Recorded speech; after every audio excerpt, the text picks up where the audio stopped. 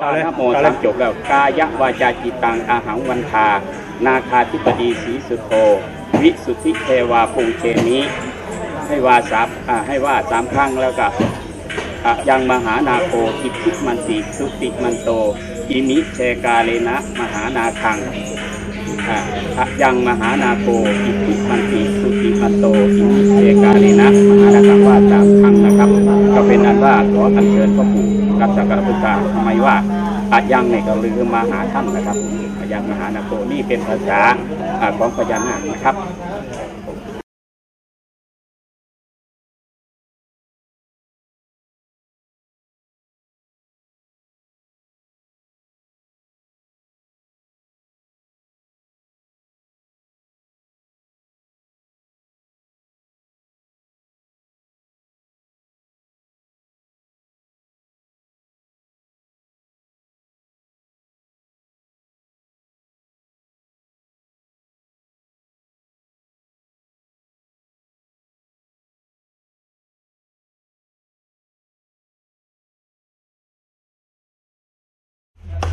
วัสดีครับท่านผู้ชมครับ วันนี้ผมอยู่ที่คำชะโนดนะครับ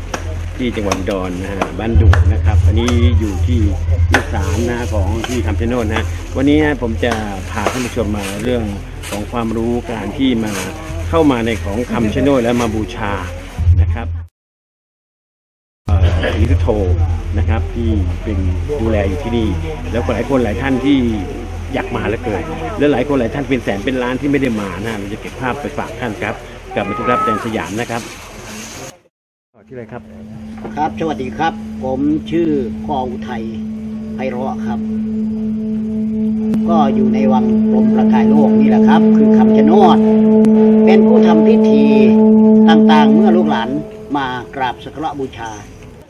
เอ่อความเป็นมาต่างๆ ที่พอสังเกตฮะความเป็นมาเอาเริ่มต้นเลย การที่เข้ามาสู่วังพรหมประกายโลกเนี้ยข้อปฏิบัติ ข้อปฏิบัตินะ เริ่มต้นนะ ที่จะเข้ามาในวังพรมประกายโลกหรือว่ามาในคำชะโนดก็ขอให้ถอดรองเท้าทุกคน เพื่อเข้ามากราบนมัสการท่านปู่ย่ามาขอ การที่มาขอเนี่ก็หลายท่านหลายคนมาขอก็ต่างกัน มาขอโชคขอลาบขอสร้อยขอแหวนขอเงินขอทองขอหน้าที่การงานของแต่ละฝ่ายแต่ละคนไม่เหมือนกัน ฉะนั้นต้องอยู่ในระเบียบในกฎของท่าน ก็เลยบอกกล่าวลูกหลานเขียนป้ายไว้ว่าก่อนที่จะเข้าในวังพรมประกายโลกหรือคำชะโนด ก็ขอขอให้ถอดรองเท้าเสียก่อนที่เราจะเดินทางเข้าไป แล้วก็แต่งตัวให้เรียบร้อยที่จะมากราบนมัสการท่านปู่มาขอเพราะว่าสถานที่แต่ละสถานที่ไม่เหมือนกัน อ่ามาตรงนี้ก็เอาระเบียบทางนี้ ก็เป็นกฎเป็นเกณฑ์ของท่านเอง ก็ให้ลูกหลานทำตามที่ป้ายบอกกล่าวนะครับ คนที่เข้ามาขอส่วนมากนะครับ คนที่มาขอส่วนมากนะครับ ที่หลั่งไหลเข้ามาเนี่ยมากราบไหว้นมัสการขอพรท่านปู่เนี่ยได้นำพวกไข่ต้มพวกใบายสีน้ำเปล่าน้ำแดง มาขอ อ่าก็ต่างกันคนต่างขอขอคนละอย่างนะครับ ไม่ได้เหมือนกัน บางคนก็เป็นหนี้เป็นสินมากมายกายกอง ก็อยากจะถูกรางวัลที่หนึ่งก็เข้ามาขอเหมือนกันอ่าบางคนก็ไปทำธุรกิจต่างประเทศหรือในประเทศก็มาขอเหมือนกัน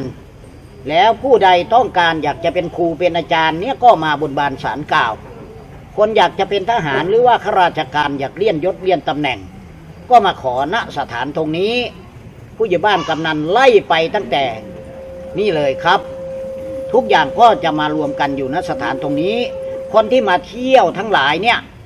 อ่าก็พูดไม่ได้เหมือนกัน เพราะว่ามาคนละสถานที่ครับ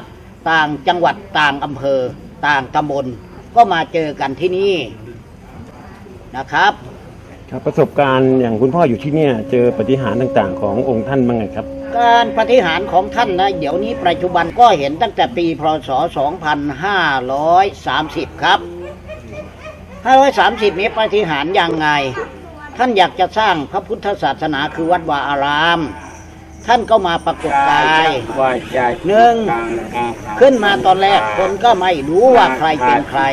เข้ามาแล้วก็มาทักทายทักถามกัน เป็นมนุษย์ธรรมดาเทวามาทักทายคือแปลงร่างขึ้นมาเป็นมนุษย์แล้ว แต่ยังไม่ได้เอ่ยชื่อไอ้นามก็เลยไม่รู้จักอ่าตอนหลังยังมาก็เลยมาเป็นงูเผือกและเต่ามันโต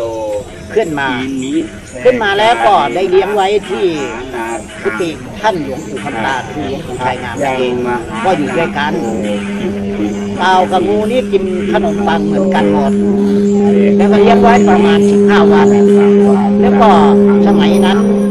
คนมาทำบุญก็น้อยมากอ่าจะไปหาไอ้กลุ่มขนมปังที่เราไปอำเภออำเภอไทยก็ไม่ค่อยจะมีก็เลยขอคารวะท่านปู่ท่านย่าให้กลับมาวังซะ อ่าตัวของพระเจ้าได้ดูแลไม่ได้ เพราะว่าต้องติดธุระทางบ้านทำเรือนด้วย ก็เลยท่านก็เลยกลับเข้ามา ฉะนั้นก็สวัสดีครับปี33ครับวันนี้ผมก็ถ่ายรูปออกมาเป็นรูปของท่านคือเป็นรูปอภินิหาร ขึ้นมาก็มีผู้ใจบุญได้มาดูภาพถ่าย